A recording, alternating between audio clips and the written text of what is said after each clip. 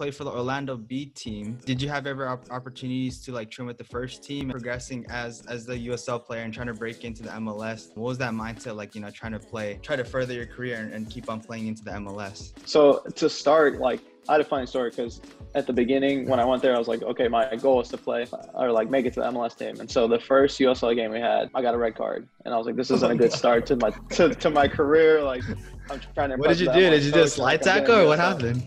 Um, no, it was two yellow cards. Oh, oh that's the worst. I sit out a game, and then the game I came back in, I got another red card. No. And I was like, first back to back games um, that I got a red card. Like the first two games, I'm thinking like I got two red cards back to back. Like this coach probably thinks I'm a liability on the field and all that stuff. So that's how I get started. But I mean, it, things settled down, and, and I was able to train with the first team. I think every week I was able to train with them for like one or two times, and then got called in to play Open Cup games with them. There's a couple of us that played Open Cup games with them, and that I think is what helped me make it to the first team because like I trained with them throughout the, the whole week leading up to the game, um, getting familiar with the guys and getting in the system and everything, and and then being able to play and Open Cup games and showing that I can play at that level with the team. So I think that's what helped me kind of make the transition from trying to like prove yourself to a coach or a team right? Like, hey, I'm the better player. There's a level of like mindset and com- confidence that you have, but also like, what's the thought process like, right? Like going in, not trying to beat yourself up every time. Let's say you get an opportunity and you don't maximize it. For you, you mm-hmm. get opportunities once or twice a week to be able to showcase that you're